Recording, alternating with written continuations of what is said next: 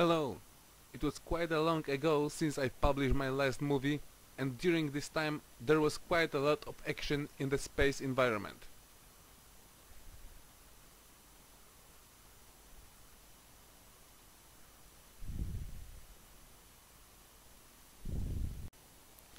Most important events took place on June 23 as on this day we've had a geomagnetic storm which was stronger than the mega storm from March. In the difference to most of recent geomagnetic activities, it wasn't caused by a coronal hole stream, but a coronal mass ejection impact. Initial wave of plasma which arrived in the evening of previous day changed drastically the orientation of IMF and BZ component fell to minus 40 nanoteslas. Such value is more than enough to cause a strong response of geomagnetic field. According to SWPC, KP index reached 8 points. Such significant events affect the geomagnetic field over the entire globe. Initial impact of the CME was recorded by most of ground magnetometers in almost every country, and at higher latitudes the disturbances were extremely strong. On the Canadian magnetometer summary plot, the scale grew to plus minus 900 nanoteslas. In Europe, the geomagnetic field was affected even stronger. In Scandinavia, pulses reached more than 1000 nanoteslas. Initial impact, which took place in the evening of June 22, gives me a nice opportunity to show you how a strong compression of magnetosphere affects the electron content in the ionosphere. First, take a look at both SWMF simulations of the magnetosphere.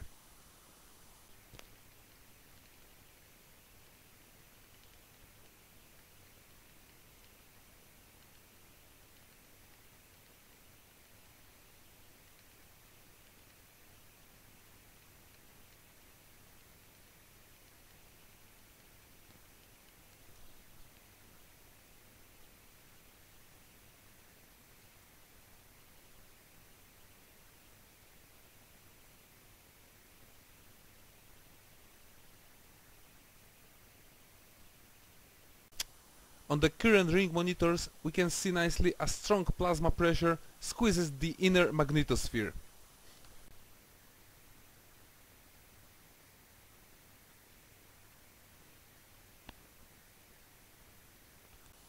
This is rather hardcore.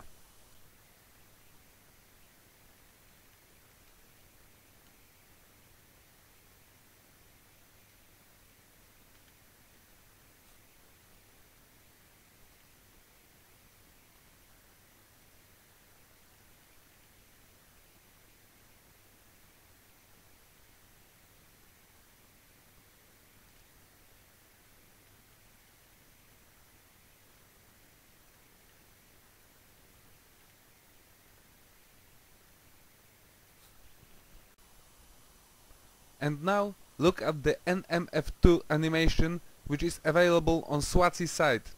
Last couple seconds are most important.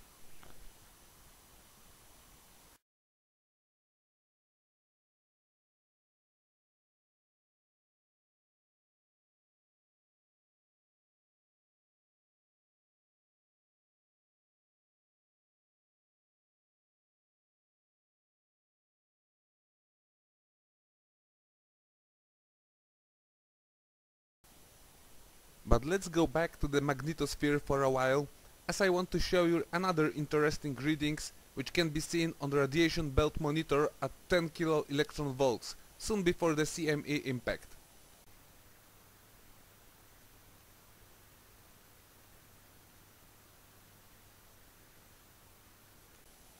I was talking about the backside gas of neutral particles many times before, but around 1945 UTC we can see a strange and unexpected injection of energetic plasma.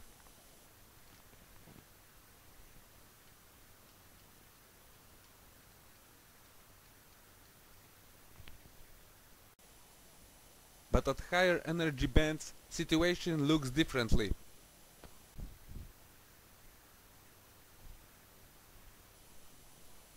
Backside injection contained particles at energies lower than 1 mega electron volt. Instead we can see some inflows of high energy electrons entering Van Allen belts at different angle.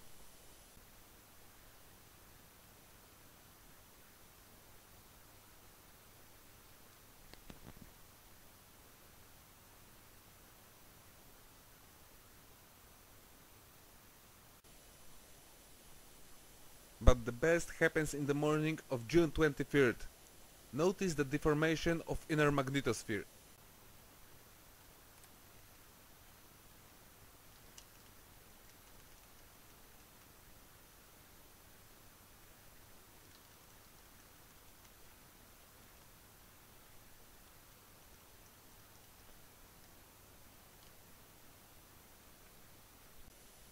and then around 8 UTC we can see a sudden flood of high energy electrons.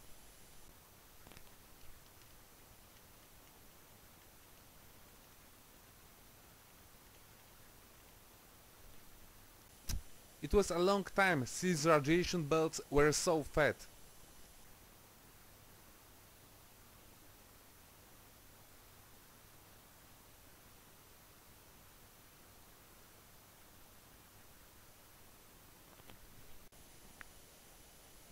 I've checked how the entire event looks like in the VisBARD application.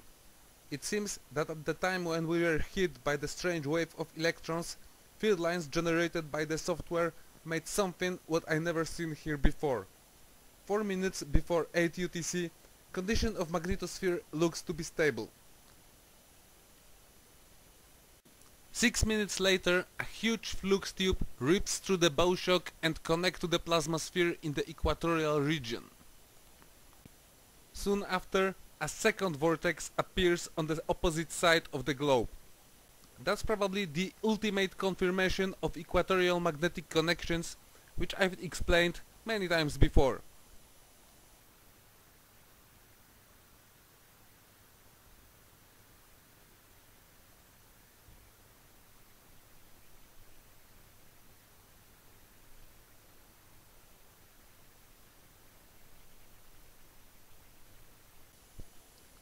Just look how big are those holes. Much bigger than our planet.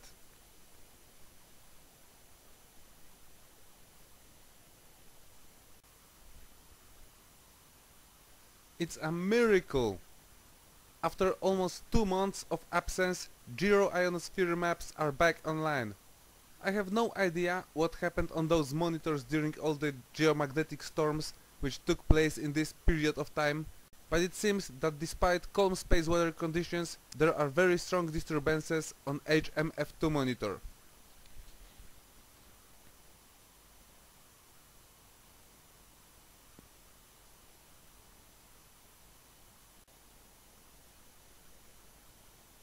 But now I would like to present you another nice toy which I found on the internet. It's called Ampere and shows the magnitude and orientation of global magnetic field. Data is provided by satellites. Here you can see the explanation. Vectors represent the strength and direction of local geomagnetic field. Blue and red colors show the polarities. Of course, direction of magnetic field is opposite over negative and positive polarities. But let's look at the readings recorded during the last mega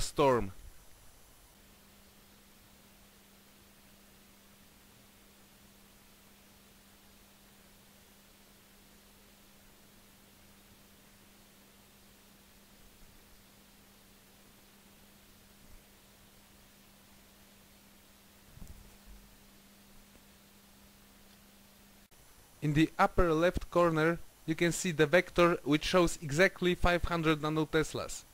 Compare it with some of the vectors recorded during the initial impact. In some regions disturbances exceeded 2000 nanoteslas. Another interesting source of data can be found on RMI site. Chart on top of this plot shows the density of electrons in ionosphere. In the bottom of page you can see the explanation.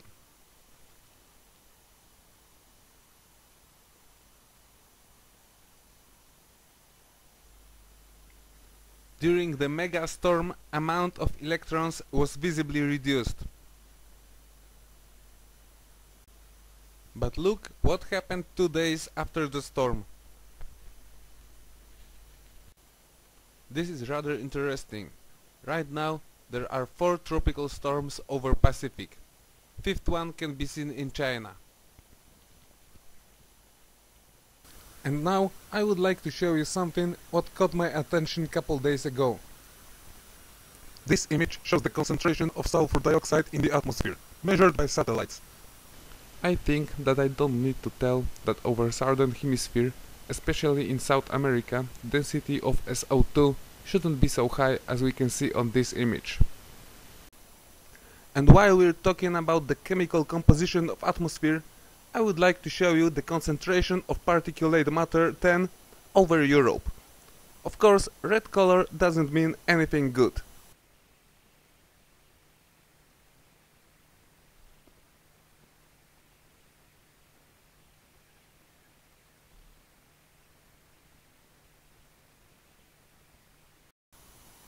It is most likely the result of an extremely large dust storm in western Africa, which took place a couple days ago.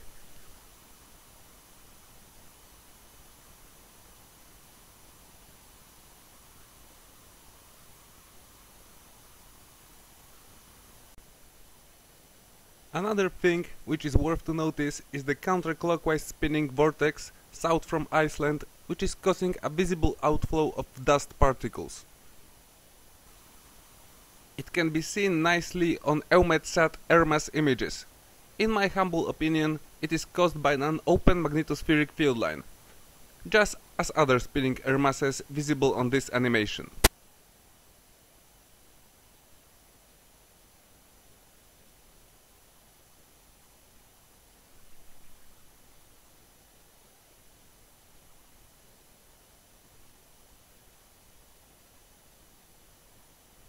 Some of them cause a lot of mess over the continent.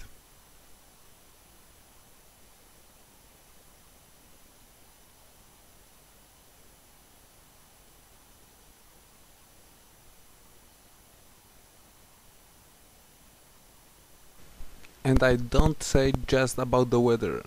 Those quakes form a line which is fitting nicely to the clouds formed by the central vortex. Is it one of those famous coincidences?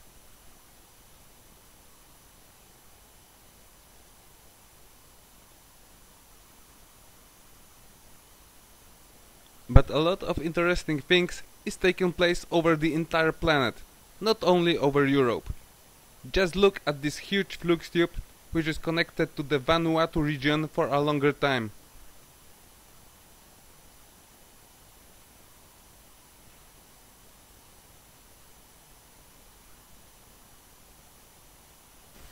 Okay, now it's time for my confession. I will be honest, I'm going through a serious crisis. Most of you is probably concerned about the lack of uploads. It was a very long time since I've published my last movie. Although there are a couple reasons which I could use to explain myself, the truth is much more complicated than the issues with my computer or lack of time.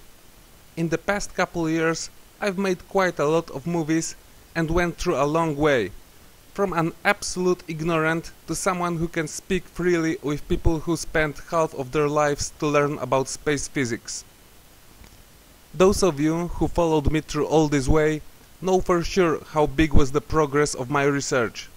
I began in absolute darkness and without any knowledge about all the data which I'm using in my movies. But then, what is the problem? I know that there is still a lot to research and discover, and I would love to go deeper to reach places where no one went before. But simply, I don't know how to do it. Some of you notice probably that I've searched the web looking for data which can be hard to find. I've used monitors which you won't see on any other YouTube channel. But it's still not enough for me. What a teacher would I be if I wouldn't be able to teach you anything new.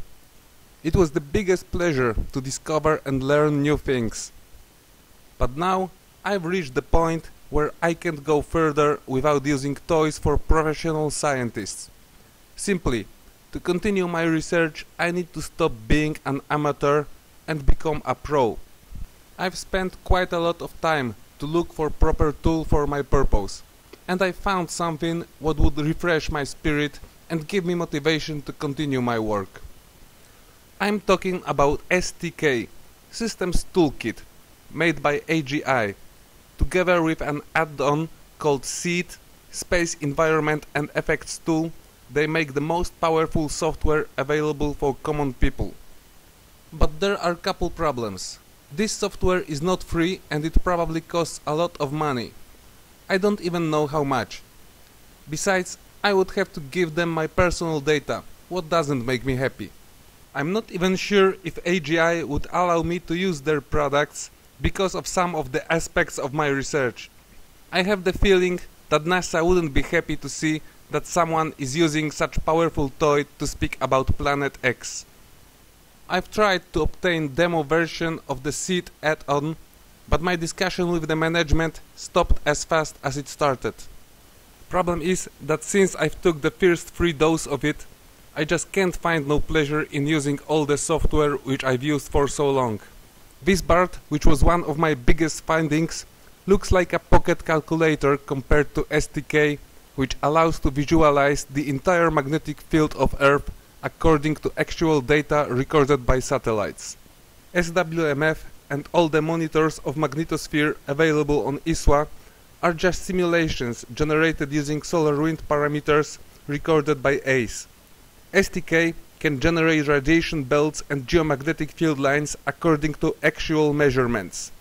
The difference is so huge that I'm not sure if I would be able to continue my work using my old toys. But don't worry, not so long ago I promised you to start a new chapter of my story. Until I won't put my hands on STK, I will start to show you the greater image of reality. My history with space physics began one year before I started to record my movies, and it began with a loud boom. In 2012 I went through something what changed my life for good. I was always a person who wasn't afraid to ask difficult questions. And sometimes difficult questions have simple answers. Answers which can hit you like a hammer. I've received a pack of data which is capable to change our civilization. You can call it greater knowledge. In a blink of an eye I've understood all the problems of science and understanding of the universe. Together with the understanding came the urge to share this knowledge with the rest of the world. I think that it's the right time to start doing it. My next movie will be the new beginning, so don't be surprised. Of course, I won't stop talking about space environment as it is a part of the reality in which we exist, but it will become only a part of the whole image. Astrophysics is probably the most important branch of science as it connects quantum physics with laws of physical realm. But reality is far beyond things which we can measure. So, prepare your minds for something great. I will try to shift the world a bit and change the way in which we understand the universe. As for now, class dismissed. Be safe. Peace.